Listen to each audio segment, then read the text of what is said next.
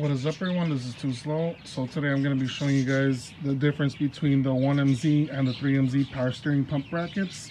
So for your typical 1MZ, um, this is your power steering pump brackets.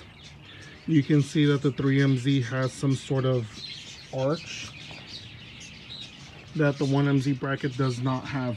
And why is that? Because this is where the tensioner for the power for the power steering for the timing belt tensioner would originally sit. So if you have this bracket, it would interfere with the tensioner. So you can't reuse the 1MZ power steering pump brackets on the 3MZ engine. And another bad side to it is you need to reuse the, the motor mount bracket, which is right here.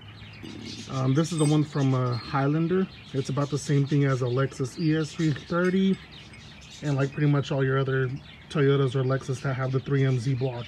So I went ahead and I took it from the junkyard. And because right here is where your tensioner bracket will originally sit or is it this one? No right it's um oh that one's for for this one for the for the idler bracket or the idler bracket for the tension tensioner bracket. It would originally go like this and then this will go like right here or something like that. I'll go ahead and show you guys once i get everything bolted up. But my plan or my idea is to just cut right here all along right here because i'm not going to be using the motor mount portion of the bracket. I don't need it. You don't really need it. You have four motor mounts holding the 3mz and s54 um, transmission. So we don't need this. We're going to go ahead and cut it. I will show you guys how i cut it but basically this is all the components for the 3MZ power steering pump bracket. You can see they're very similar. The 1MZ doesn't have the nuts welded on the bracket. This is a 3MZ one, it has the nuts welded onto the bracket. So you can see they're missing right there on the 1MZ bracket. And the 1MZ bracket looks just as similar to the 3MZ you can see the mounting points are, are pretty close but they're quite quite um different from where they mount to the tensioner part. So i ended up getting these from the junkyard. You guys saw the previous episode from that. I ended up getting it from a highlander. So i already got my power pump sitting outside of the celica. So i'm gonna go ahead and reinstall that right now. Got it right here and that's where our bracket or pump would the bracket that big one would sit it would sit right here. And we're gonna go ahead and bolt it up but there's my power steering pump. It's still connected. And I'm gonna go ahead and install that so that we can get our power steering pump belt installed and then we can get our accessory belt installed for the supercharger and maybe get this car running today Safety first, guys. This isn't something to be playing around with when you're using power tools and cutting blades. So I already went ahead and cut them out. You guys can see right here, this is the portion. I'm gonna clean it up right now. I'm gonna make it um, flat and I'm gonna go ahead and, and spray some some undercoating on it just so it kind of doesn't rust up there. And there you go, cut it um, I wasn't able to get that much. You can see how much I was able to grind off. And then the rest, I just started hitting on the floor and it broke off. Make sure to use the angle grinder. This is a Harbor Freight one. This thing's been reliable as hell, man. The Drill Master angle grinder and their wheels, their cutoff wheels. Make sure you keep the guard on though, real talk. But this thing, I've had it for years, has not failed me for like the longest time. So we're gonna go back in here and clean this up and we should be able to mount it up onto the car and get it going. So there you have it. Clean it up as best as i could. Don't have to be extremely perfect on it. But it seems like this is a beefy enough bracket to do the tensioner or the tension part of the power steering. Um, you can make it smaller. You can probably cut it off like let's say right here. But i think i, I want to keep it a bit beefier and plus it, it doesn't really get in the way so um, unless you're one of those guys oh weight weight di weight difference man. Gotta cut down on weight. Like it, it's not really that heavy in the first place so I'm gonna keep it like this. I'm gonna go ahead and spray a little bit of some undercoating just to kind of not let this exposed and then we're gonna go ahead and install it on the engine and see how it looks. So there you have it. Already went in ahead and installed the, the bracket. I only put these three on. I didn't really put this one on. I don't think it really matters. I mean, three should be good, more than enough to hold the power steering pump bracket. So let's go ahead and finish installing the brackets on the 1MZ power steering pump and go from there. So we're gonna put this bracket, which has this angled out to go over the, the timing belt tensioner. And then the back bracket is going to be this one, which goes right behind it like this because it has the nuts on the other end holding the bolts that we're going to feed in. This one's a holding one and these two are the ones we're going to feed in to hold the other side of the bracket, if that makes sense. So you can see there's plenty of space right here if you don't have the axle installed. There's plenty of space right here to get to the bolts to hold the power steering pump bracket.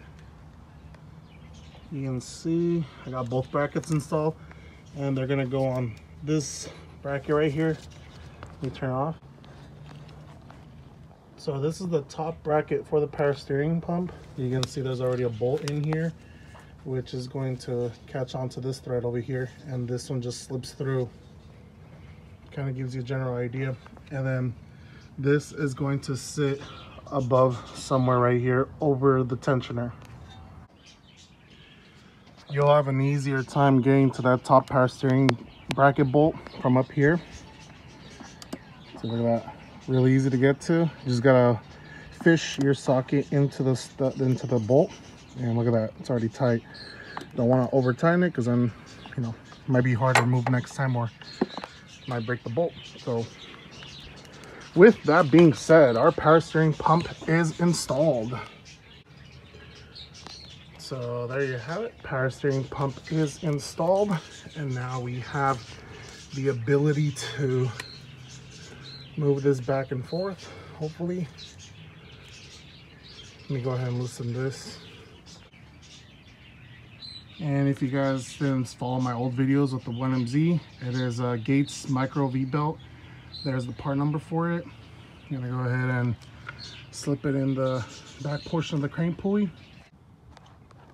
So I don't know if the 1MZ belt is shorter than the 3MZ one, but I had a difficult time getting the 1MZ belt over the power steering pump to the crank. So what I did was I put the belt behind the crank but I put it on the on the pressing pump pulley all the way. So now I'm gonna turn it by hand or crank it by hand and it should the belt should slip right in and then we should be able to give the power pump tension. Feel like it has a good amount of tension, doesn't want to turn all the way. Stops about halfway, so I'm gonna have to do a little bit more research on the belt, see if the 1MZ and 3MZ belts are different, but the, as for the pumps, they're the same. So there you have it guys. That's how you, I guess, retrofit a 3MZ or I guess a 1MZ power steering pump on a Celica. but pretty much that's about it. Um, 1MZ power steering pump converted to 3MZ. That's going to be the title of the video. So there you guys have it. In case you guys are switching over to the 3MZ on your guys' Solara, Camry, whatever it is, you guys now have a video for it and we've rotated it a couple of times. The belt does clear from everything so we're good to go.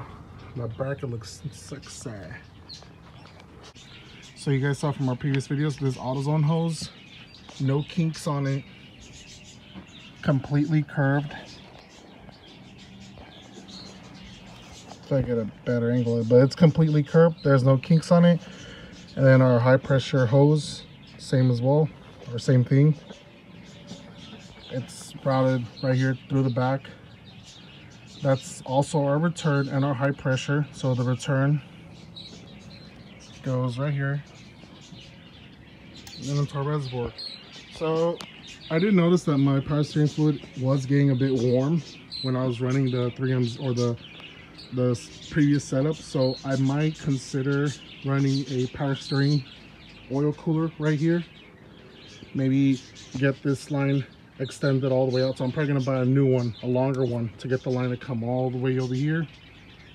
and the return I guess through there. Or I'll figure it out. I'll, eventually figure it out. I'm pretty sure it's just um, this this hose coming over here into the cooler out and then back in. But I gotta figure out which one's the return or the you know. But I'll eventually do that some other day. And um, but for now that's it guys. Thank you for watching